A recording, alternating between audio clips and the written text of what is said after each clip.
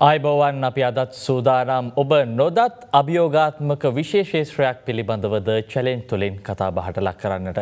තාක්ෂණය දිනෙන් දින අපට වමනා වෙනවා තාක්ෂණය දිනෙන් දින යාවත් කාලීන වෙනවා. වගේම තොරතුරු තාක්ෂණයට අපි දිනෙන් දින ඇල්මක් දක්වනවා. ඉතින් තොරතුරු තාක්ෂණය තුළින් ලෝක ජයගනීමේදී තොරතුරු තාක්ෂණය තුළින් රටක් ජයගනීමේදී අපිට අවශ්‍ය වෙන කරුණුකාරණා පිළිබඳව කතාබහට ලක් කරන්න අපාද මැදිරියට කැඳවාගෙනවා. ව්‍යාපෘති නිලධාරී ප්‍රධාන මාත්‍යංශය උතුරු මැද පලාතේ රවිදු දිලිශාන් ඉළංගකෝන් අයිබවන් කියල වැඩසටාන්ට අපි ආරාධනා කරනවා. අයිබවන්. ඉතින් රවිදු තොරතුරු තාක්ෂණත් එක කතාබහ කරද්ද අපි මුලින්ම තොරතුරු තාක්ෂණය පිළිබඳව කෙටි හැඳින්වීමක් සහ ලංකාව තුළ තොරතුරු තාක්ෂණය කුමනාකාර ව්‍යාප්තියද තියෙන්නේ වගේම තොරතුරු තාක්ෂණ නව පද්ධති රාජ්‍ය ආයතන කටයුතු සඳහා යොදා ගැනීම තම ඔබගේ ප්‍රමුඛතම කාර්ය මේ කාර්යභාර පිළිබඳව පැදිලි කරමු. මම මේක ගැන කෙටියම කියන්න හඳුගන්නම් දැන් සාමාන්‍යයෙන් අපේ රටේ තොරතුරු තාක්ෂණය ගත්තර පස්සේ සාමාන්‍යයෙන් අපි කතා කර වෙනරත් වෙනත් රටවල්වලට ගන්න ක්‍රමවේදවලට තාමත්තින්න ටිකක් පසු අගේක තම අපේ රට තියෙන්නේ. එතකොට ඉදිරියේදී අපි කොයි වගේ ආකාරයකින් මේ තොරතුරු තාක්ෂණ ප්‍රවණතාව වැඩි කර යුතුද කියන දේ ගැන තමයි මේ මිනිවිට අපි සමීක්ෂණය වගේම කටයුතු කරගෙන යන්නේ. එතකොට ඒකම ගන්නකොට මම කෙටීම කියන රාජ්‍ය ආයතන වලට ගොඩක් වෙලාට තාම යන්නේ අපි අර පේපර් බේස් ඒ කියන්නේ තාම ලිපි ලේඛනාශ්‍රිතව තමයි පද්ධති යන්නේ. එතකොට මේ පද්ධති කියන්නේ පේපර් බේස් එකෙන් කොහොමද කැන ඉනෝවේශ කැන අයිට පැත්තෙන් කොයි වගේ ආකාරයටද වෙනස් වෙන්න ඕන කියන එක ගැන තමයි අපි ඉදිරිදි තොරතුරු තාක්ෂණය පත්තින් කතා කර යුත්තේ. හරි ඒ වගේම දැන් තොරතුරු තාක්ෂණය පිළිබඳව මූලිකව හැදෑරීම ඔය වගේ සිද්ධ වෙදි තොරතුරු තාක්ෂණය රාජ්‍යායතනවලට ඔබ ගෙනියනවා. එකන්නේ අභියෝගාත්මක කටයුත්තක් තොරතුරු තාක්ෂණ තොරතුරු තාක්ෂණ කියන දිනෙන් දින යාවත් කාලීන වෙන විශේෂේත්‍රයක්. කොහොමද රාජ්‍ය ආයතන වලට මේ තොරතුරු තාක්ෂණය ඇතුළත් කරන්න නැත්නම් ඇප්ලයි කරන්න මේ ගත අභියෝගය? ඔව් මම ඒක මගේ ජීවිතේම මං පටන් ගන්න එක මං කතා කරන්න මම අවුරුදු 18 දී තමයි මේ රාජ්‍යංශීය සඳහා සම්බන්ධතාවය එකතු වෙන්නේ. එතකොට එතනින් පටන් ගත්තට පස්සේ මේ අවුරුදු 4 දක්වාම මට මගේ ජීවිතේ ගොඩක් දේවල් කියන්න තරම් දේවල් තියෙනවා රාජ්‍ය ආයතන තුල මට සිදුවන දේවල්. මොකද මේ වගේ පද්ධතියක් නිර්මාණය කරනට අපි අලුතෙන් සොෆ්ටයස් නිර්මාණය කරන්නකොට ගොඩක් කලාවට අපිට එන අභියෝගතා තමයි ගොඩක් කලාට වැඩි. මේක කළ යුතුයි කියන තැන්ට නොකළ යුතු තැනට තමයි පත්වෙන්නේ.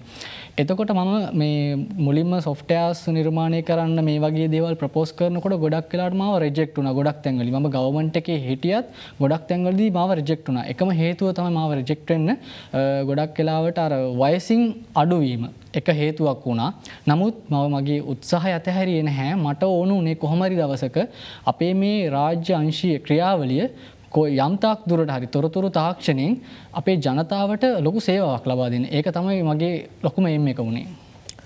ව්‍යාපෘති සාරංශ හා අත්‍යවශ්‍ය තොරතුරු සැකින් ලබා ගැනීම සඳහා ඔබ විශේෂයෙන්ම PSM කියන මේ තාක්ෂණික ක්‍රමවේදය රාජ්‍යායතන සඳහා හඳුන්වා දෙනවා. ඒ වගේම ඊටින් පසුව තවත් බොහෝ මෘදුකාංග භාවිතය මගින් විවිධ ව්‍යාපෘතින් සඳහා තාක්ෂණික භාවිතයන් හඳුන්වා දෙනවා. අපි මුලින්ම කතා බහ කරමු PSM කියන තාක්ෂණය කොහොමද මොකද්ද මේ PSM කියන තාක්ෂණය මේකෙන් වෙන්නේ මොකද්ද සහ මේකෙන් මහජනතාවට තියෙන ප්‍රතිලාභ කුමක්ද කියන එක. PSM ගැන කතා කරනවා නම් මම මුලින්ම පටන් ගන්නම් සිංගප්පූරය මොකද මම සිංගප්පූරුවේ සතියක එක හමාරක විතර ලොක රිසර්ච් එකක් කරනට අවස්ථාවක් හමුණා. එහිදී මේ සිංගප්පූරුවේ ඒ රටේ රාජ්‍යායතන තුළ පාවිච්චි කරන මේ PSM ටෙක්නොලජීක. සාමාන්‍යයෙන් අපි කාර්යාලී ගත්තහම ඕනම රටක රාජ්‍යංශය තුළ ලිපිලේකන ගොඩක් කලාට භාවිතා වෙනවා. නමුත් ඒ අර අපේ රටේ භාවිතාවන ප්‍රමාණයට වෙනත් රටවල ගොඩක් කරට අඩුයි. එතකොට ඒ රටවල්ල මොනහරි අත්‍යවශ්‍ය ලේඛනයක් සැනකින් හොයාගන්න ඕනුත් එහෙම PSM කියන ටෙක්නෝජි ඇතේ අපිට සැනින් ඒ අදාළ ව්‍යාපෘතිය තියෙන සාරංශය. උදාහරණයක් විදිට පාසලක් පිළිබඳ තොරතුරක් ලබාගන්න ඕන ඒ පාසලේ ව්‍යාපෘති ආරම්භ කරපු දිනේ. ඒ අදාළ ව්‍යාපෘතිය ආරම්භ කරපු කෙනගේ නම ගම ඒ අදාළ සාරංශය අපිට සැනකින් ඔන්ලයින් ඒ කියන්නේ මාර්ග ගතව අපිට ගන්න පුළුවන් සිිස්ටම් එකක් තුළින්. එතකොට අපි අර ෆයිල් එක මේ හොය හොය මේ අදාලෙලි අර මොකක්හරි මේ රිසිට් එකක්වට පස්සේ රිසිට් එක බල බල අපිට ෆයිල් පෙරලන්න ඕනි නැහැ. අපි කාලේ අපතේ යවීමක් තමයි තාමත් ලංකාවේ රාජ්‍යායතුන සිදුවෙන්නේ. අපිට ඒක වලක්වා ලගන්න පුළුව මේ PSM තුළින් PSM එකේදී සරලොම කියනනම් වෙන්නේ මාර්ගගත ඔන්ලයින් ඒකන් අපිට ඕනම තැන කිදල මේකට ලොග් වෙන්න පුලන් සිිස්ටම් එකට. අපි ඒ එන්ට කරන ෆයිල් තුළ අදාළ සාරංශය පමණක් මේ පද්ධතිය තුළට ඇතුළත් කරන. එතකොට ආයතන ප්‍රධානයට පුළුවන් හදිසි අවස්ථාවකද මොහරි ෆයිල් එක තොරතුරක් ලබා ගැනීමට අවශ්‍ය වුණොත් ඒ සැනකින් අදාළ ව්‍යාපෘතිය නම එන්ට කරපු ගම ඒ තොරතුරු මේ වෙනකොට ව්‍යාපෘති අවසං වෙලාද? නැත්තන් මේ ව්‍යාපෘතිතාම මේ ප්‍රෝක ප්‍රසෙස් වෙනවාද? මේ හැම දෙයක්මට සැනකින් ලබා ගැනීම හැකියාව තියෙන මේ වගේ තාක්ෂණික ක්‍රමවේදයක් ලංකාවට හඳුන්වා දෙදී ප්‍රථම වතාවට ලංකාවේ මේ තියෙන මේ රජයේ භාවිතාවන් සඳහා හඳුන්වා දෙද්දී යම් කිසි සැකයක් හෝ බියක් ඇති වූ නැද්ද මේ විදෙස් රටක තාක්ෂණික ක්‍රමවේදයක් ලෝකේ තුළ පවතින තාක්ෂණික ක්‍රමවේදයක් ලංකාව සඳහා මේ අනුගත වෙද්දි ලංකාව සඳහා මේක යොමු කරද්දි විවිධ ගැටලු වෙන්නට ඇති අපි පිළිබඳ කතාබා කර. ඔව මට මුලින්ම අපපු ගැටලුව තමයි මේ වගේ තාක්ෂණයක් අපි ලංකාවට හඳුන්වා දෙනකොට තාමාර නියාමන ක්‍රමයක් එකැන මොනහරි නීති පද්ධතියක් අපේ රාජ්‍යංශයේ තාමන හැක ලොකු අඩු පාඩුවක් ඒ අපි ඉදිරියේදී අපි අනාගතයේදී ශ්‍රී ලංකාව දියුණුන රාජ්‍යංශය පැත්තෙන් අනිවාරෙන් අපි නීති පද්ධතියකට අනුගත වෙන්න ඕනේ. මොකද අපි ඉදිරියට යන්නේ මේ තාක්ෂණය මත. එතකොට අපි දැන් ස්තරලම කියනනම් සර්වර එකක් ගත්ත තැන ඉඳ අපි දැන් සර්වස් පාවිච්චි කරන තාම අපි සර්වර් පාවිච්චි කරන්න පිටරට කො ඇමරිකාව ජර්මණය ඉන්දියාවගේ රටවලින් තම අපි තාම අපේ ඉන්ටර්ට සෝස එක විදිට අපි පාවිච්චි කරන්නේ. හැබැයි ඒකෙදි ගැටලුවකට තියෙන අපේ දත්ත මේ අපේ රටින් එලියට යනවා. මොක දෙව තැන්පත්වයන්නේ මෙන රටවල්වල. ඒකෙදි තමයි ලොකුම ගැටලොතින මොකද අපේ ජනතාවගේ දත්ත මොකද ඉදිරියේදී එන්නේ ලෝකයේ යුද්ධ කරන්නේ මේ තොරතුරු තාක්ෂණයක් එක්ක. සාමාන්‍යයෙන් බිග් ඩේට සම්බන්ධ තම ලොකු ප්‍රශ්නයක් එන්නේ අනාගතයේදී. ඒකට දැම්මින්ද අපි මුහුණ දෙන්න ඕනේ. ඒකෙද අපි අනිවාරෙන් රජයක් විදියට බලාපොරොත්තුවෙන් ඕනි අනිවාරෙන්ම මේ තාක්ෂණයට මේ ආරක්ෂාව සම්බන්ධව මේ පරිගණක ජාල පිරිබඳ ආරක්ෂාව මේ හැමදියකටම අපි විසඳුම් සෙවිය යුතුයි. ඒ අතර තුරේදි තමයි ඔය ව්‍යාපෘතිමම් මට පුළුවන් විදියට වැරදෙන්න හෝ හරියන්න කියල මම ඉදිරිපත් කරේ. ඒ තුළින් ගොඩක් ව්‍යාපෘති සාර්ථක වෙලා තියනම කොමද පියසම් තාක්ෂණය ශ්‍රී ලංකාවට අනුගත කරදදි විශ්වාසයෙන් කියන්නේ මේ ශ්‍රටක් තුළ තිබෙන්න්න වූ ව්‍යාපෘති දත්ත පිටරටක කුමන හෝ දේකින් අත්පත් කර ගැනීමක් සිදුවෙන්නේ නෑ නමුත් මේ රටේ තියෙන මේ දත්ත තමයි අපි මේ ව්‍යාපෘතිය දත්ත තමයි මේ අපි පියසම්කින් තාක්ෂණය තුළින් අපි මේ යම්කිසි කොටසක තැන්පත් කරන්න. එතකොට යම් කිසි අවස්ථාවකදී මේ තොරතුරු තාක්ෂණික පද්ධතියට යම් කිසි ප්‍රහාරාත්මක දෙයක් හෝ මේ අපි දන්න සයිබ ප්‍රහාර කියන්න පුළ විධ දේවල් තියෙනවා මේ වගේ දෙයක් සිදුවනොත් මේ ශ්‍රී ලංකාව තුළ පවතින සහ අනාගත ඉදිරි අනාගත වසර සඳහා සිදුවෙන මේ ව්‍යාපෘති සම්බන්ධය අවධානමක් නැද. සාමාන්‍ය බැලුවොත් ලොකු අවධානමත් තියෙනවා. මොකද දැනටමත් අපේ රාජ්‍යංශය ගොඩක් වෙබ්සයිට්වලට සයිබ ප්‍රහාර තියනවා දැනටත් මේ සාමාන්‍යෙන් අපේ පලත් සබා ඇතුළුනත් තවත් වෙනත් පලත් සභාගත්තත් ගොඩක් කලට රාජ්‍ය ආයතන වෙබ්බඩවියලට සයිබ ප්‍රහාර තියන ගොඩක් කලට බංගලදේශය පාකිස්ාන වැනි රටවල්ලි තමයි මේ සයිබ ප්‍රහාර ගොඩක් කලට ලබා දෙන්නේ.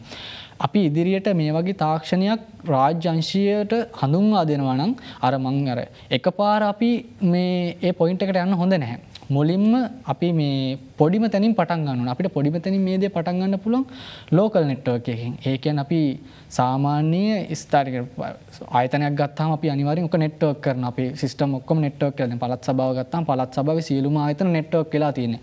අපිට පුළුවන් ලෝකල් සර්වර් එකකින් මේ වැඩේ පටන් ගන්න. එතකොට අපේ දත්ත ඒ කියන්නේ පබ්ලික් නැහැ. ඒ කියන්නේ එළියේ කාටවත් ඇක්සස් කරන්න බෑ. ආයතනයේ ඇතුලේ ව්‍යුහයට විතරයි ඒ ඩේටා වලට අයිතිය තියෙන්නේ. මුලින්ම අපි පටන්ගත යුත්තේ ඒ තැනින්. ශ්‍රී ලංකාව තුළ මේ වගේ මේ ඔබ කියන්නව පSM තාක්ෂණය දැනට භාවිතා කරන්නේ ඔබේ මේ තියෙන මේ පලාත් අමාත්‍යංශ ප්‍රධාන පළාත් අමාත්‍යංශ විතරද නැත්නම් ඊට අමතරව අනිකුත් පළාත් සඳහාත් මේක යොමු කරලා තියෙනවද? දැනට මම මගේ එකේ තාම පරීක්ෂණ මට්ටමේ තමයි ඔක සිදු කරමින් යන්නේ. මේ විදිහට මම මගේ ආයතනයේම තව ව්‍යාපෘති අංශයකට තමයි ඔක නිර්මාණය කරලා දීලා තියෙන්නේ. ඒ ආයතනයේ මේ විදිහට දත්ත එන්ට කරගෙන මේ වැඩපිළිවෙල කරගෙන යනවා.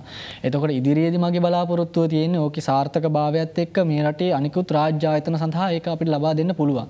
මොකද මේකෙදි මුලින්ම අපි හොයලා බලන්න ඕනේ අපි ආරක්ෂාව පිළිබඳ. අර ඔබ කතා කරා වගේ කලින් අවස්ථාවේදී මේක ආරක්ෂාව ගැන අපි කතා කළ යුතුයි මොකද නැත්තම් අපේ ජනතාවගේ දත්ත අනතුරේ.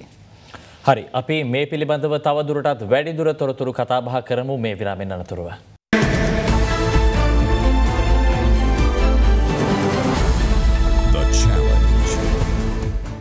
අපි නැවතත් චලෙන් සමකින් අප අදවසේ කතාබහ කරගමින් සිටියේ තොරතුරු තාක්ෂණය කොහොමද ලංකාව ව්‍යාපෘතික භාවිතයට සහ තොරතුරු තාක්ෂණය යාවත්කාලීන වෙමින් පවතින ලෝකේදී තොරතුරු තාක්ෂණය රටකට අවසි වෙන ආකාරය සම්බන්ධයෙන්. ඉතින් රවිදු තව ප්‍රධානම ප්‍රශ්නයක් තමයි මහජන දිනය සම්බන්ධයෙන්. ඔබ විධිමත් ක්‍රියාපටිපාටියකින් යුත් තවත් වැඩ පිළිවෙලක් හඳුන්නා දෙනවා. මහජන දිනේදී අපි බොහෝවින්ම දකින දෙයක් තමයි නාගරීකරණයේදී වෙන්න පුළුවන් ග්‍රාමීය ජනතාව වෙන්න පුළුවන්. බොහෝ විට රස්තියාදු වෙනවා කියන ඒ ප්‍රධාන අපිට තියෙන්න්න වූ ගැටලුව මේ තියෙන්න්නව චෝදනාව සිදු කරනවා. මේ ජනතාව රස්තියාදු නොකර නියමිත ආකාරයෙන් අමාත්‍යංශයකද කාර්යාලයකද කුමන හෝ ස්ථානයකද මහජන දිනයකද ඔවුන් ක්‍රියාකාරී වෙන ආකාරය සම්බාධන වහන්වා දෙනවා අලුත්ම ව්‍යාපෘතියක් මේ පිළිබඳ කතා භ කරම. මේ ව්‍යාපෘතිය මම මුලින්ම හඳුන්වා දෙන්න මගේ උතුරු මැද පළහත් සභාවට මේකත් දැන් පරීක්ෂණ මට්ටමේ ඉඳලා දැන් නිකුත් කිරීමට සූදානමක් තියෙනවා. මේකෙදිත් ගැටලු රාශියක් තියෙන අපි මේ මං අන්තිමට එක කතා කරන්න ඒ සම්බන්ධව තියෙන ගැටලු පිළිබඳව මේ ව්‍යාපෘතියේදී දැන් අපේ මහජන දිනයට එනවා මේ ගොඩක් එන්නේ අපේ පලාතේ නම් ග්‍රාමීය ජනතාව වෙන්නේ. ගොඩක් වෙලාවට කහටගස් දිගිලිය විලච්චිය වගේ ග්‍රාමීය ප්‍රදේශවල ඉඳලා තමයි ජනතාව වෙන්නේ සේවාවන් ලබා ගන්න. ඒතකොට අපි පළාත් සභාව දැන් විසිරුව හැරලා තියෙන හින්දා ආණ්ඩුකාරතුමා හමුවීම සඳහා තමයි ගොඩක් ජනතාව පැමිණෙන්නේ. මේ ජනතාව සාමාන්‍යයෙන් ගොඩක් වෙලාවට උදෑසන 6 ඉඳලා මම ඔෆිස් එකට යනකොටත් සමහරක් වෙලාට ඔෆිස් එකේ ඉන්න උදේට කාලත් නැහැ සමහරක් මිනිස්සු මොකද අදාළ සේවාව සිදු කරගන්න ඇවිල්ලා ඉන්නේ. එයාලා අදාළ බලධාරියෙක්. නමුත් ගොඩක් වෙලාවට මම දකින දෙයක් තමයි මේක අපේ පළාත විතරක් නෙවෙයි මේක ලංකාවේම සමස්ත ව්‍යුහයේම තියෙන ප්‍රශ්නයක්. අදාළ ජනතාව නියමිත ආකාරයට ඇතුල් කිරීමක් සිදු වෙන්නේ නැහැ. ගොඩක් වෙලාවට පොලිමේ ඉන්නවා උදේ ඉඳලම ඇවිල්ලා නමුත් සමහරක් වෙලාවට අර දොරෙන් එක්ක මන්ත්‍රීවරයෙක් හරි නැත්තම් තව කවුරු හරි විශේෂ පුද්ගලෙක් හරි එයාලා එයාලගේ කටයුත්ත කරගෙන යනවා.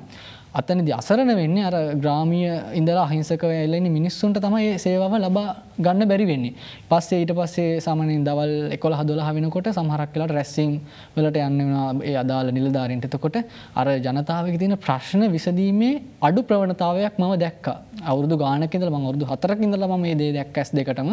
ඉතින් මට හිතුණා මේකට විසඳුමක් ලබා දෙන්න ඕනේ කියලා. මේක දැනටත් පෞද්ගලික ආයතන වලට ගොඩක් වෙලාවට පාවිච්චි කරන මේ ටෝකන් මැනේජ්මන්ට් සිස්ටම් එක. නමුත් අපේ රාජ්‍ය රාජ්‍ය අධ්‍යංශය ක්‍රියාවලියේදී ගොඩක් වෙලාට පාවිච්චි වෙන අඩුයි මේ වගේ ක්‍රමවේදය. මගේ ක්‍රමවේදය ගොඩක් වෙලාවට ඔන්ලයින් සිස්ටම් එකක් through තමයි යන්නේ.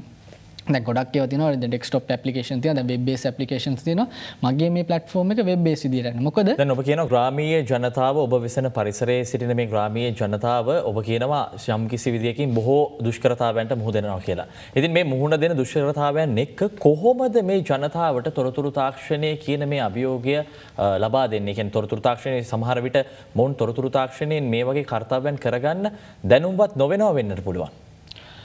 ඒක අභියෝගයක්. ඒ අභියෝගයේ භාරය අරගෙන තමයි මේ ව්‍යාපෘතිය ආරම්භ කරේ ටෝකන් මැනේජ්මන්ට් සිස්ටම් එක මොකද මගේ පලාතේ ගොඩක් කලාවට ග්‍රාමීය ජනතාව ගොඩක් දුෂ්කර ප්‍රදේශවල ඉඳලා ඉන්නේ. එයාලට IT කියන නොලෙජ් එකක් නැහැ ඇත්තම කිව්වොත් එහෙම.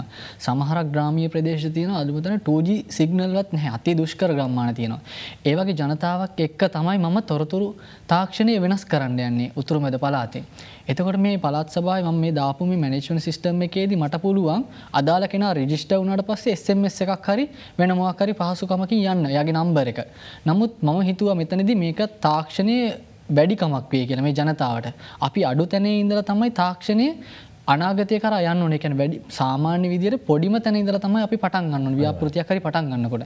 එතකොට මේකෙදි පිළිගැනීම් කවුලුවට ආවට පස්සේ ඒ කෙනාට එයාගේ විස්තරේ මොන වගේ දෙයකටද හම්බෙන්නේ නැහැ කියලා ඒ රිසිට් එක print වුණාට පස්සේ ඒ සිස්ටම් එකට එන්ටර් කරනකොටම පස්වෙනි මහලේ තමයි ඒ අදාළ බලධාරීන් හම් වෙන්න ස්ථානේ තියෙන්නේ. එතකොට මෙයාට මේ ටෝකන් එක පොඩි රිසිට් එකක් තියෙන්නේ. මේකේ එයාගේ ෆෝන් නම්බර එකයි එයාගේ ටෝකන් නම්බර එකයි තමයි නිකුත් වෙන්නේ. මේ ටෝකන් එක අරගෙන එයාට උඩට ගියාට පස්සේ තිරේ දිස් වෙනවා. ඒ අදාළ පිළිවෙල. මේ පිළිවෙල අනුව තමයි ඒ අඩාල බලධාරියාව හමුවීම සඳහා ඇතුල්ලීම් කරන්නේ. මේ පද්ධතිය අපිට එක පාර සාර්ථකව ගන්න මේකට විධ බලපෑමෙන්න්න පුළ මොකද මේකද විධ එනක ලොකුම බලපෑම තමයි කවුරු හරි විශේෂ පුද්ගලයෙක් යන්න බැහැ එක පාර මොකද සිිස්ටම් එකක් රුයන්නේ අපි. හැබැයි මේකට අපි වෙනස් වුනොත් එහෙම අනිවාරයෙන් විනයක් සහිතව මේ මහජන දිනවල් ඇත්තරම සිදුවනවා නැත්තම් මම දකින දේ තමයි ඒ අදාළ රූම් එකේ මේ දොරගාව පිරෙනවා. ඒ ජනතාව ඇවිල්ල. මොකද ඇයි ඇතුළට ගන්න නැහැනි? හිටිය ගමන් ඒක මේ නෑ වෙලා නෑ කියන අදාළ නිර්ධාර හිටපු ගම ඉතින් මේ වගේ විසඳුමක් දුන්නොත් අපිට පුළුවන්. ඒ අතර අදාළ උදාහරණයක් විදියට මහඇමති හෝ ආණ්ඩුකාර්තුමා හෝ නැත්තන් තව කවුරන මහජන නියෝජිතයකුට එයාගේ ෆෝන් එකෙන් බලාගන්න පුළුවන් අද දවසට කීදනෙක් ලියා පදිංචලා ඉන්නවාද කියලා. මේ පලටෆෝර්ම් එක තුළ තින විශේෂත්වය.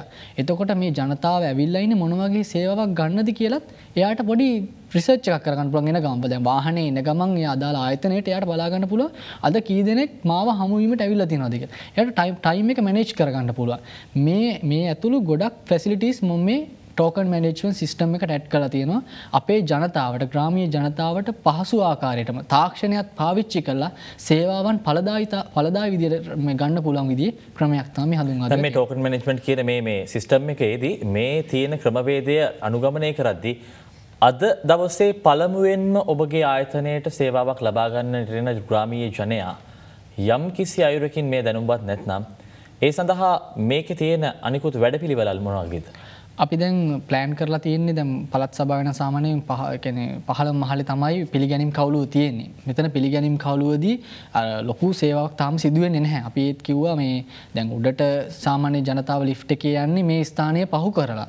අපිට එතන මොහරි පොඩි නෝටිස් එකක් දාන්න පුළුවන් නැති වුණත් අපිට දැනුවත් කිරීමක් කරන්න පුළුවන් ඒ ඇතුල්ල නිස්ථානය වනත් අනිවාරයෙන් ඔබ ලියාපදිංචි වෙලා තමයි ඒ අදාළ බලධාරින් හමුවීමට යා යුත්ති කියලා. මේක පලවෙනි සතිය දෙවනි සතිය පොඩි රිසකැන් පොඩි ලොකු වැඩක් වෙන්න පුළුවන් අපිට. මොකද ජනතාව අපි එකක මතධරණ අයන ඔතෙන්ට. සමහරක්කයි අපි කියන දේ කරන්න පුළුවන් අයනවා ජනතාව. සමහරක්ක අපිට වඩා අපි කියන දෙල් ගණන්ගන්න තිය ඇත්තෙනවා එතකොට ඒවගල ලොකු අභියෝග ඇත්තියන මේ වැඩේදී. නමුත් මේක සාර්ථක අපි පලවෙනි සතිය දෙවනි සති සාර්ථකව කරගන්න හැකිවුණ අපිට මේ ඉදිරියේදී ලංකාවිතින රාජ්‍ය ආයතනවලට ඒවගේ මහජන නියෝජිතයන් හමුවෙන ආයතනවලට පලදායිත පලදායි විදියට මේ කාලය කළමනා කර ගැනීම කර ගැනීම හැකියාව සහ ඒ ජනතාවට අදාළ සේවාවන් නියරදිව ලබාදීම හැකියාව තියෙන පලදායතාව පිළිබඳව කතාබහ කරපු නිසාම මේ ප්‍රශ්න හනිතව මහජනතාව වෙත පලදායි ක්‍රමෝස්සේ තාක්ෂණය ලබාදීමේදී යම් කිසි ගැටලුකාරී තත්වය නැතිවෙන්නට පුළුවන්. වගේම මේ පලදායි ක්‍රමෝස්සේ තාක්ෂණය ලබාදීමේ හැකියාව පවතින්නේ කුමනාකාරයෙන්ද. මං එකට උදාහරණයක් කියන්න මේ විදියට. ම දවසක් යන මගේ මෝටරතේ මේ අලුතෙන් ගත්තර පස්සේ ඒක ලියාපදිංචි මේ නම්බ ප්ලේට් එක මම ගන්නනවා මේ මෝටරත ප්‍රවාහන්න දිස්ත්‍රික් මේ ආයතනයට. මං ආයතනට ගියාට පස්සේ මම මමත් පෝලිමේ ඉන්නවා මේ මගේ වාරය එනතුරු. මම ඒත් කල්පනා කර කර හිටිය ඇයි මෙච්චර වෙලාවක් මෙයාලට මේක මේ නිකුත් කරගන්න යන්න කියලා. මම ඒ අතරතුරේ මට මම රාජ්‍යාතනක සේකල ම නිකං අනි පැත්තෙන් ගිලම චුට්ට කතා කල බැලු හම මෙයාලා විශාල පොතක ලියල තියෙන මේ අදාළ නිකුත් කරලා තියෙන නම්බස් ටික. මේ සියාර් සාමාන්‍යයෙන් පිටු අසුවගිතර ලොකු පොතක්. මේ පොතේ ලියල එකින් එක චෙක්කර කර තමයි මේවා නිකුත් කරන්නේ. ඇයි අපිට බැරි මේ අදාළ මේ අංක නිකුත් කරනකොට කොළමින්න නිකුත් කරන්න මෝටරත ප්‍රවාහන අධිකාරයන නිකුත් කරන්නේ ඇයි දිස්ත්‍රික් ආයතනට මේ පාස් කරන මොකර ඔන්ලයින් සිස්ටම් එකක් තාම නිකුත් කර නැත්තේ. එහෙම තිබ්බනම් අයිඩ නම්බර එක සර්ච් කරපු ගමන් අපිට හොයාගන්න පුළුවන් ටක්ගල මේ නම්බර එක තියෙන මෙන්න මේ රාක්්‍ය කියලා දැන් අරක කරන්නේ අර පොතෙන් හොයනවා මේක තියෙන මෙන්න මේ රාක්්‍ය මෙන්න මේ අංකත හඩුව තියෙන මේ අංකට කියන රාක් මේ රාක්කේ එතකොට විශාල කාලයක් යනවා එක පුද්ගලයකි සේවාවක් කරන්න. අපිට පද්ධතියක් තිබන ලේසි නැක්ද අඩුමතන අයිඩ නම්බර අපි දැන් අපි ගේපුකන් කොහමත් අයිඩ අපි අයිඩන්ටියකන අපි අපි ගන්න. අයිඩන්ට නම්බර එකට ටක්ගල චෙක්වෙච්චකම සිිස්ටම් එක පෙන මේ අදාල රාක් අංක ඇත්තෙක් අපිට පෙන්න්න පුළුවන්. ඒවගේ පද්ධතියම දැනට පලත් සබය ක්‍රියාත්මක වෙනවා. ෆයිල් මනේජ්වට එකන්නේ ගොුණු කළමනා කරන පද්ධතියක්. අපි වෙනම ෆයිල් රාක්කයක් නිර්මාණය කරලා තියෙනවා. ඒ අදාළ සබ්ජෙට් එක බාරන්න මිස්ට පුළුවන් සිිස්ටම් එකින් ෆයිල් කීදනෙක් මේ වනට එලිට රිස් කල තියෙනද කියලා. රාජ්‍යාතනල තියෙන ලොකුම ප්‍රශ්ි තමයි මේ ලිපිලේකන නැති වෙනවා මේකට විසිදුමක් විදිරතාම මේ ලිපිලේකන සෙවම් යන්ත්‍රය හදල දුන්නේ. මේකෙද අපි වෙනම රූම් එකක් නිර්මාණය කරලා දීලා තියෙනවා. මේ ෆයිල් ගබඩා කරන්න. එතොර මේ ෆයිල්ලට වෙන මංකයක් අපි දීලා තියෙන බණ්ඩල් විතියට අපි නිර්මාණය කළ ගිනුම් අංශයේ අධ්‍යාපනංශය කියලා වෙනම අංශවලට බෙදලා ඒ අංශය අපි වෙනම සිිස්ටම් එකට අපි වෙනම එන්ට කරලා තියෙනවා. එතොට සිිස්ටම් එකේද බලාගන්න පුළුවන් ද ම ෆයිල් එකක් ගන්නන රාක්කෙන් මට අදාළ සබ්ජෙට් එක්කන අනිවාරෙන් කොහොම අවනම රාජ්‍යාතන එක තම සිදුවන ක්‍රියාවලි අදාළ නිලධාරණය හෝ නිලධාරිය හමුවෙන් ඕනේ. හමුවල තම ෆයිල් එක අපි එතන රක්වලින් මහජන පලදාවිතාව පිළිබඳව අපි මේ විදිර කතා කර. රාජ්‍යායතන කොහොමද මේ තාක්ෂණ ඇතක ඉදිරියට යන්නේ කියන සම්බන්ධයෙන් කතා බහ කරමු. මේ විරාබිනතුරුව.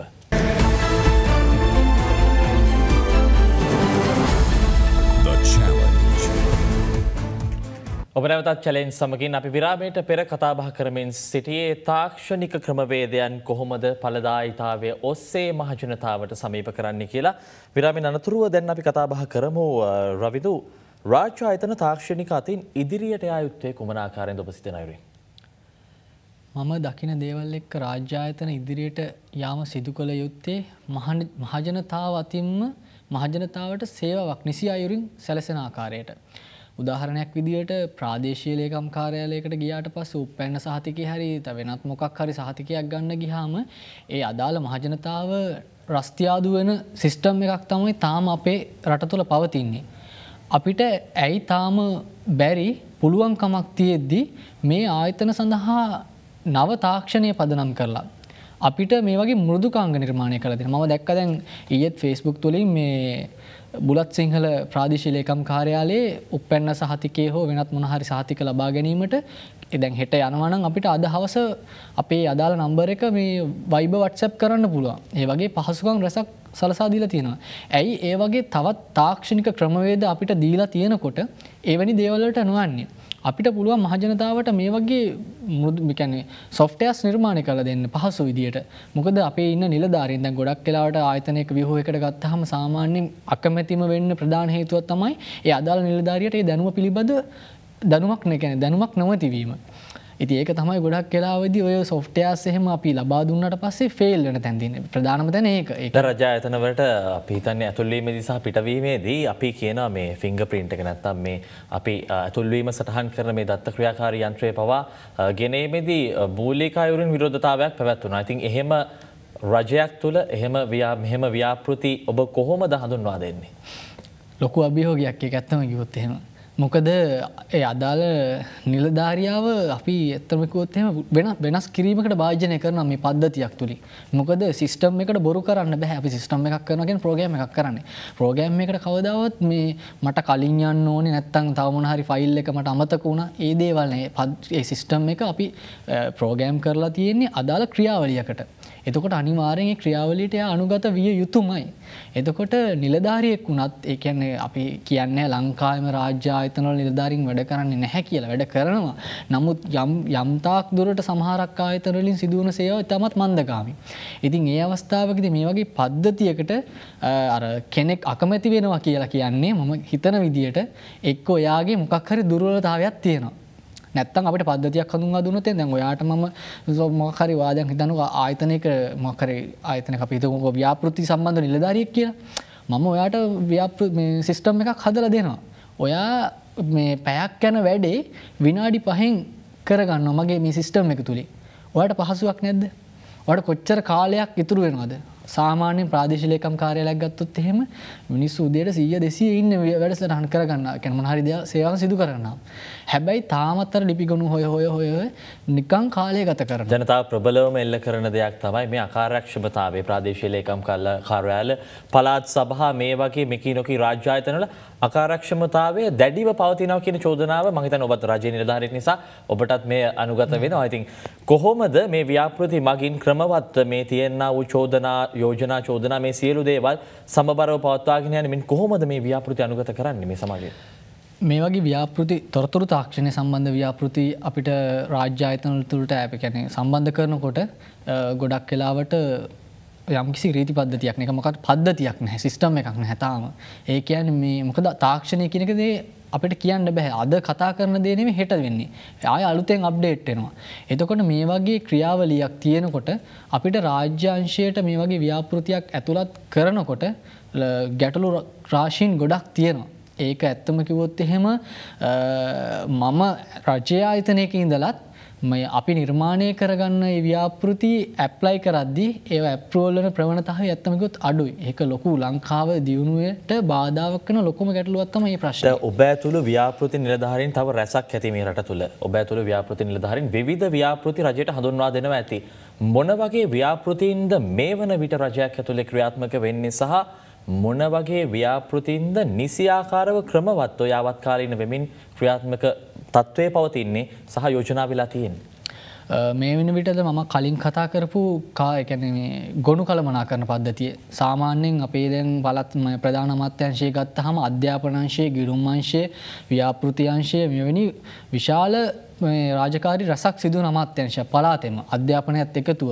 එතකොට මේ වගේ අමාත්‍යංශයක කෙරෙන රාජකාරිය ඒකන්නේ අපි ලිපිලේක නතින් ගත්හම විශාල ප්‍රමාණයක් තියෙන ලිපිලේකන අපිට ගණන් කරගත නොහැකි තරම් සමහරක් වෙලා ලිපිලේකන තියෙනවා.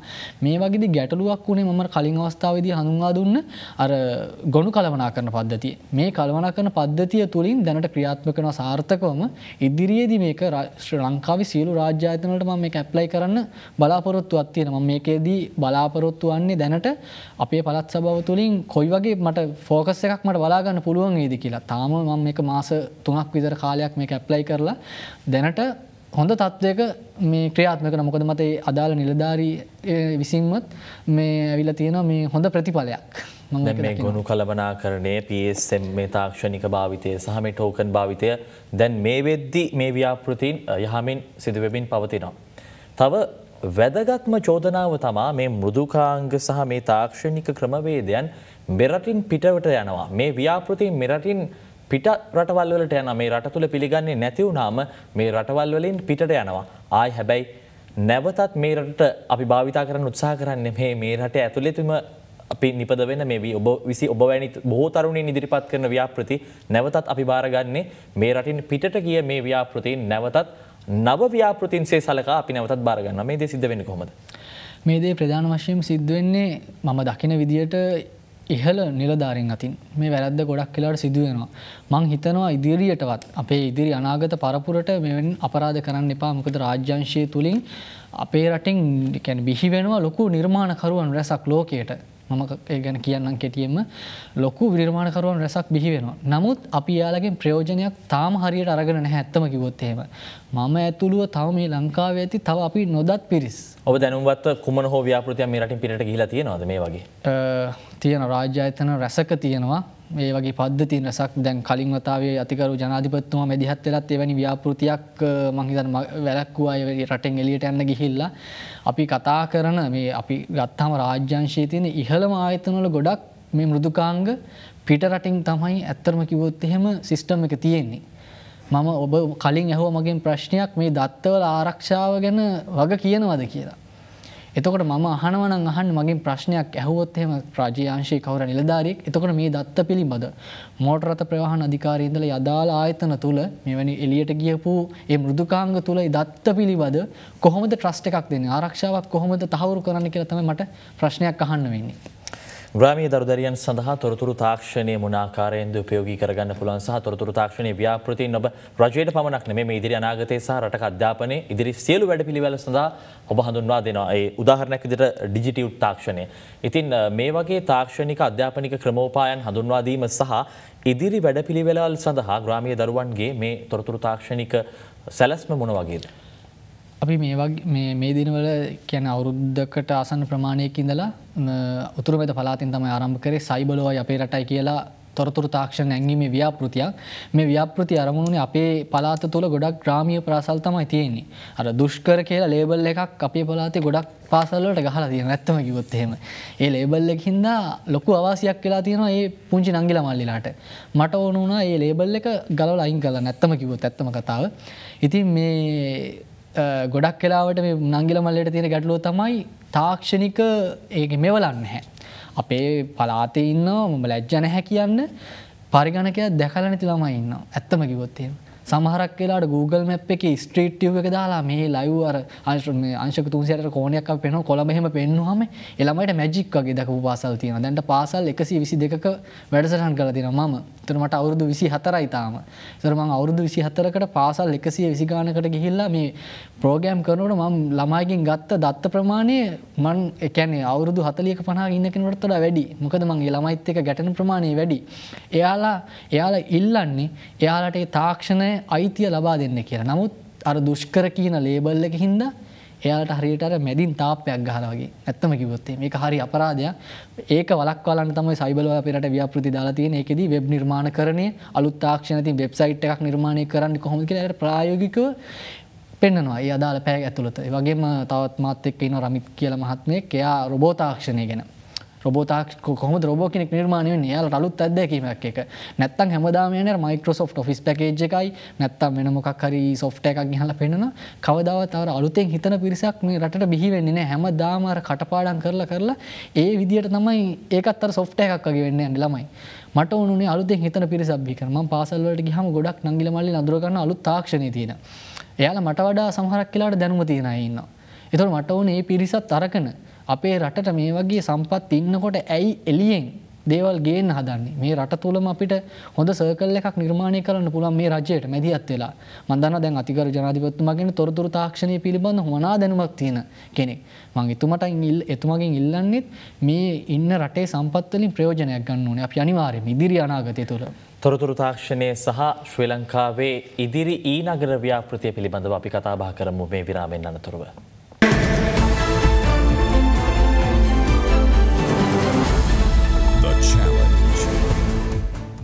චලෙන් තුළින් අපි අදවසෙදිත් කතා බහට ලක්කරමින් සිරිය ඔබ නොදත් විශේෂේත්‍රයක් පිළිබඳ මේ අභියෝගාත්මක විශේෂේත්‍රයන් පිළිබඳ තොරතුරු තාක්ෂණය ශ්‍රී ලංකාවට යවත් කාලීන වෙන තොරතුරු තාක්ෂණය දිනින් දින ලෝකත් එක්ක පවතින තොරතුරු තාක්ෂණය පිළිබඳව කතා බහ කරදි ශ්‍රී ලංකාවේ ඊනගර ව්‍යාපෘතියක් සිදු වෙනවා. ශ්‍රී ලංකාවේ ඊ නගරයක් ප්‍රථම වරට හඳුන්වාදනය ව්‍යාපෘති ආරම්භකයා ඔබ රවිදු අවුරුදු විසිහතරක් වැනි මේ පුංචි වයසෙදී මේ වගේ කරතවයක් කරද්දි මොන වගේ අභියෝගයක්ද දැනුනේ? මොන වගේ දෙයක්ද සිදුවනේ? මේ සඳහා කොහොමද මේ ව්‍යාපෘති ගොඩනගන්න ඔබ සැලස්මක් සකස් කරගත. මම අවුරුදු දහටෙන් ඒකැන් මම උසස් පෙළ විභාගය අවසන් වීමත් සමඟ තමයි මට මේ වගේ අදහසක් ඇතරමික තොරුවටාවේ මොකද මම ඒක දැක් එකම දෙයක්ත් මගේ ප්‍රාදේශලයකම් කාරයාලට ගියාට පස්සේ මට මගේ සේවාවක් සපයගන්න ගියාට පස්සේ මම ගොඩක් රස්තිය අදුනා එතන. මං එතනි පස්සේ හිතන්න ගත්තා මට බැරිද මේ නගර තියෙන මේ වගේ රාජ්‍යායතන වලට එක පලට්ෆෝර්ම් එකක් දෙන්න. එකන එකම තැනින් එකම සේවාන් ටික හරියට ටක්ගල ලබා ගන ගෙදර ඉඳලා.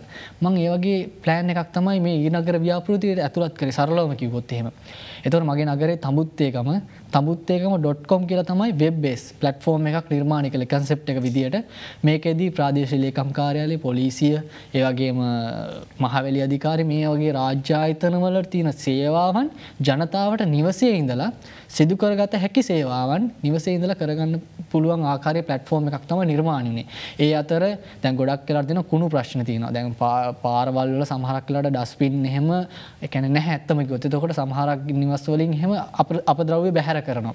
ඒවට විදිමත් ක්‍රමවේද නැහැ. ඒකට මොකක් හරි සිිස්ටම් අපිට දෙන්න පුළුවන් ඒ වගේ පලටෆෝම් කීපයක් ම ඕකද යස් කලත ඊවෙස්ට් කියලා. ඊට පස්සේ මම නගරයට ප්‍රපෝස් කරා එක තාම දැන්ටන කොළම නගරත් තියෙන CCTV මේ auto auto detection CCTV system මේක වෙබ්බේස් එකක් තුළින් නගරේ එකන්නේ අර වෙනම කන්ට්‍රෝල් යුනිට් එකක් මගේ අවසන් ප්‍රතිඵලය වෙනම කන්ට්‍රෝල් යුනිට් එකක් හැම නගරයකට බිහි යුතු කියනදේ. අපිට නගරයක ගැතියෙන සියලු ගැටලු ඒ කන්ට්‍රෝල් යුනිට් එකෙන් හොයාගන්න පුළුවන් ඇත්තමකෝතිව. කවුද කුණු පාරට විසි කරේ.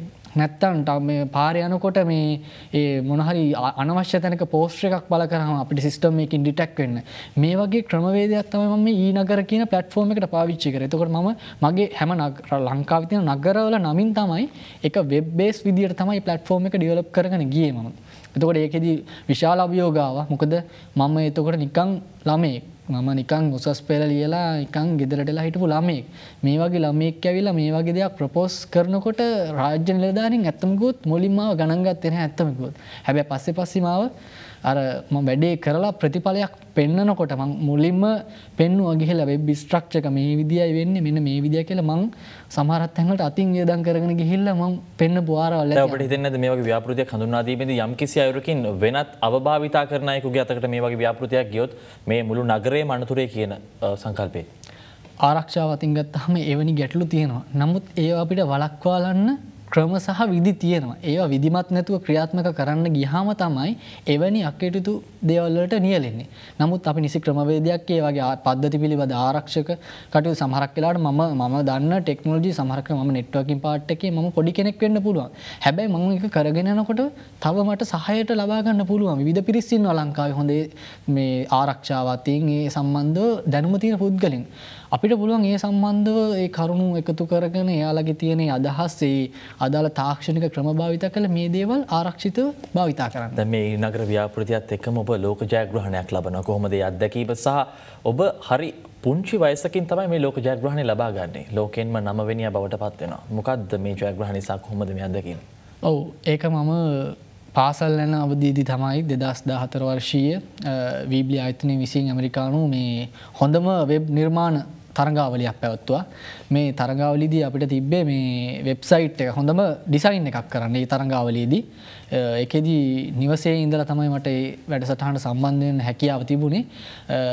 මම එතකොට උසස් පෙලට සාමනය දොළහශ්‍රේණී වගේ. ඉති මම ඒ කාලෙදී දැනගෙන හිටිය නෑ හරියට මේ ටෙක්නෝජය කන ම ගොඩක් දේවලිගෙන ගත්තේ අන්තර්ජාලය මගේ ගුරුවරය කවුද කියලා හොත්තේ ම කියන අන්තර්ජාලය මොක YouTube එක තමයි ගොඩක් දේව ලිගෙන ගත්තේ මුලිම පුංචි වයසිදල මම දැන්ගෙන නංගි කෙනෙට මල්ලි කෙනෙට්ටුනත් කියන්නේ හරි දෙයක් ඉගෙන ගනින් YouTube එකට ගිහිල්ලා. මොකද අපිට ඒක ගන්න තියෙන දැනුම වැඩි. අපි ගිහිල්ලා ෆේස්බුක් එක කැරකෙනවා නැත්තම් වෙන මොනහරි විකාරයක් කරනවා. අදාලදේ නෙවේ ගන්න. හැබැයි අපට YouTube එක මේ අදාල තියෙන ගොඩක් පලටෆෝම් සින අපිට දැනුම් ගන්නවා මේ දැනුම අරගෙන තම මං තරගාවලි ඇත්තරමකොත් ගිය තනියම.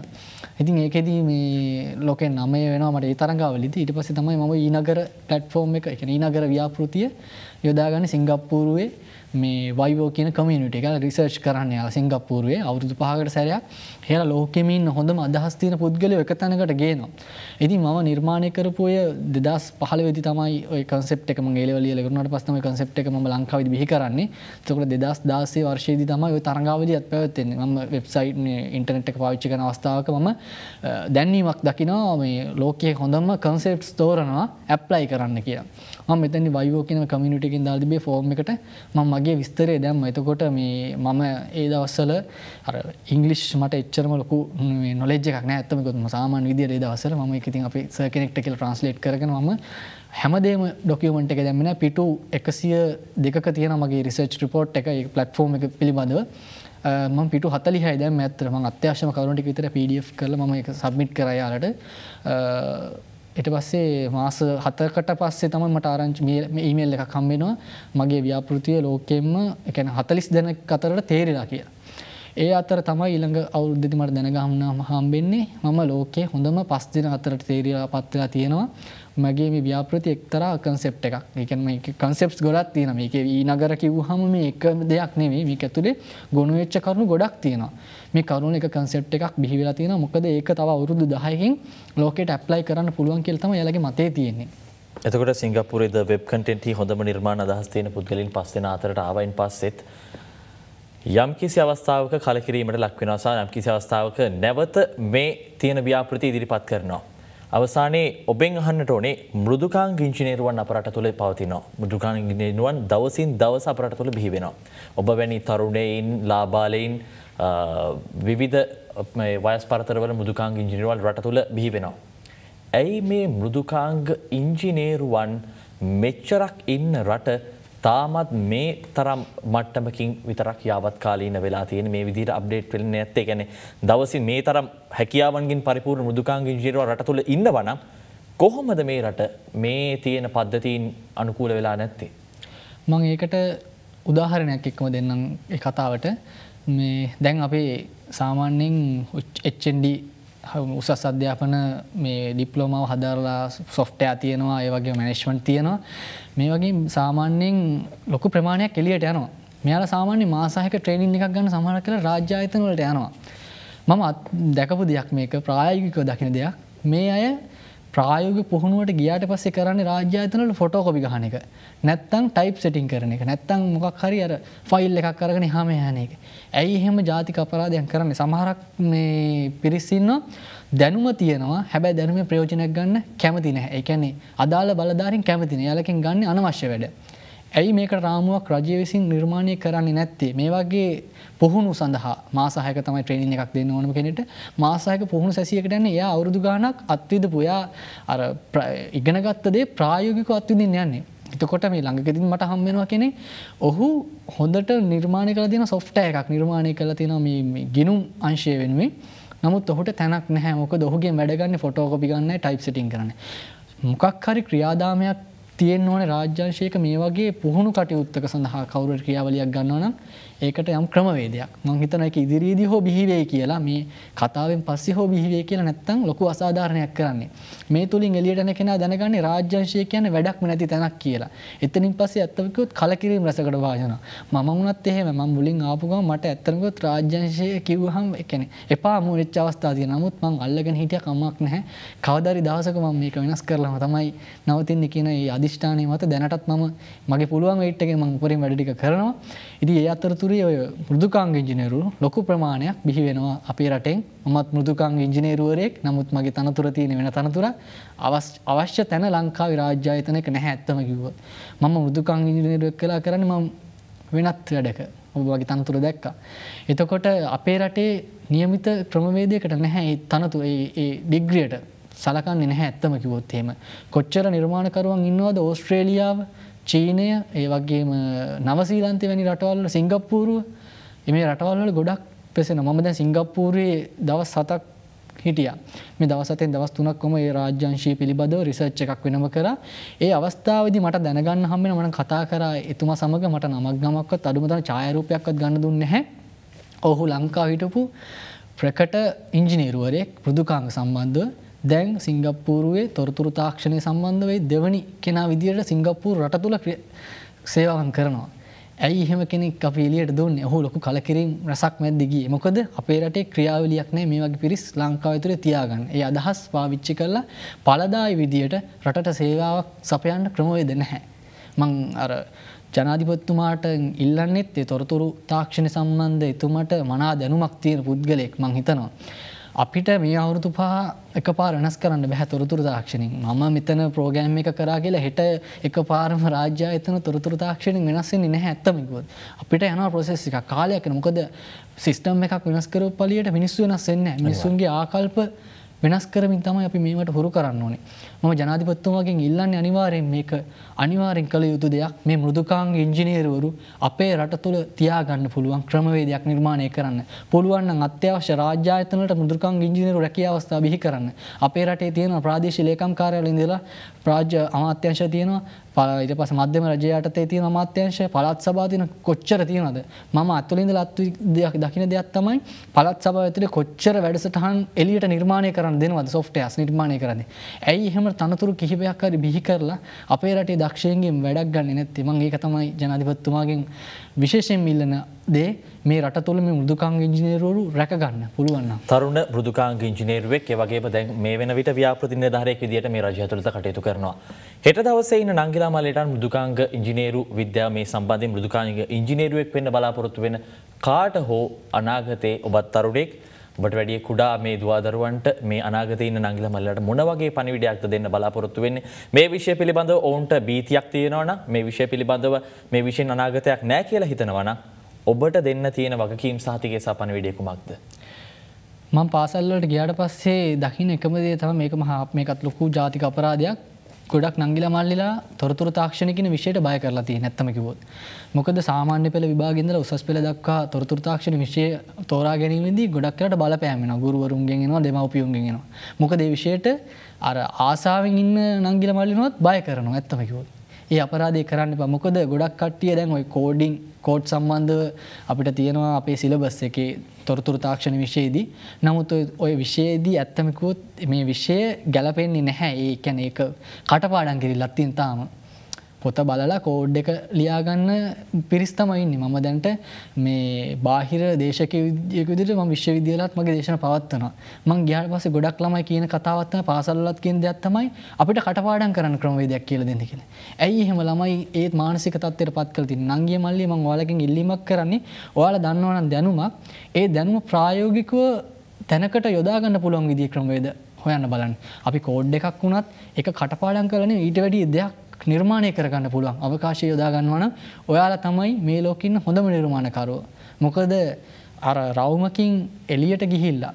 හොඳ තවත් අලුත් අයිඩිය එකක් කරගන්න තවත් අලුත්දයක් නිර්මාණය කරන්න පුළන් රට ඔයාල තම නිර්ම නිර්මාණකයෝ මම ඒක හින්ද ඔයාල හැමෝගෙන් ඉල්ලන මේ රටේ සමස්ත ශ්‍රී ලංකිය තරුණ පරපුරෙන් සහ ඉදිරියේදී මේ ශ්‍රේෂ්ත්‍රයට මේ තොරතුරු තාක්ෂණ ශේෂත්‍රයට එන්න ඉන්න නංගිල මල්ලට කියන්නේ මේ තාක්ෂණය භාවිතා කර මොකද අපේ රට අනාගත තව අවුරුදු පහකින් පහක් ඇතුළ තනිවාරෙන් තොරතුරතාක්ෂණ රැකියා වෙළඳ පොලක් ලොකුවට විශාල වශයෙන් බිහි වෙනවා.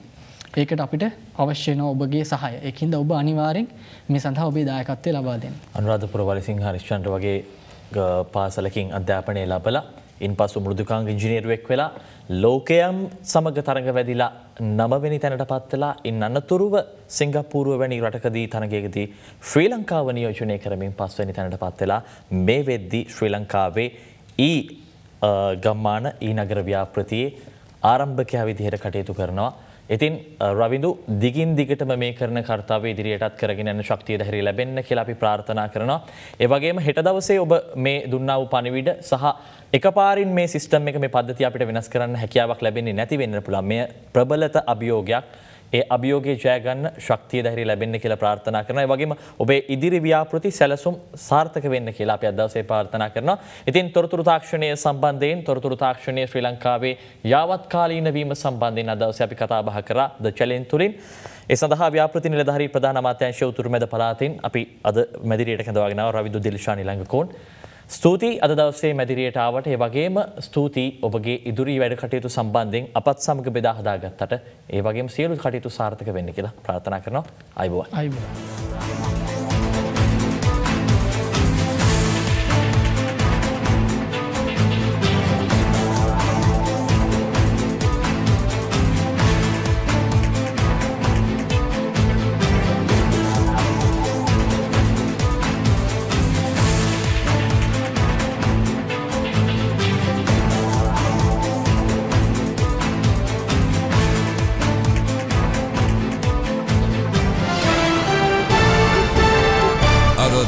24, Sri Lanka's news channel.